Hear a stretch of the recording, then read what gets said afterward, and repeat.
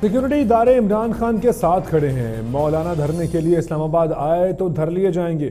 شیخ رشید نے خبردار کر دیا۔ کہتے ہیں نواز شریف آ نہیں رہے اور مریم جا نہیں رہی۔ شہباز لندن میں رہ کر مزے کریں۔ مہنگائی ہماری سب سے بڑی دشمن ہے۔ بجلی مہنگی کرنے سے متعلق آئی ایم ایف کی بات نہیں مانیں گے۔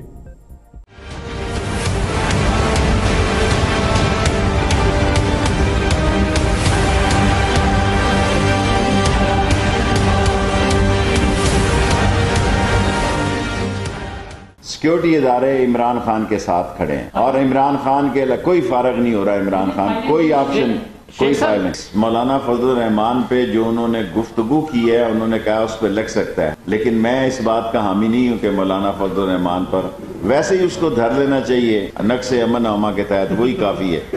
اب وہ اس عمر کے حصے میں نہیں ہے کہ سکس آرٹیکل سکس ان پہ لگایا جائے۔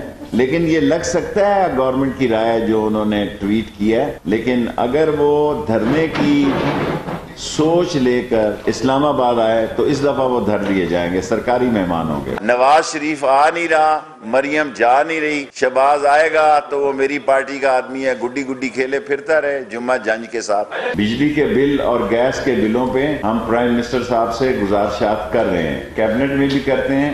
علیحدگی میں بھی کرتے ہیں۔ اور امید ہے کہ اس کیبنٹ میں بجلی کے بلوں، اور یہ تو مجھے یقین ہے کہ آئی ایم ایف کی بات بجلی کے بل بڑھانے کے لیے نہیں مانی جائے گی۔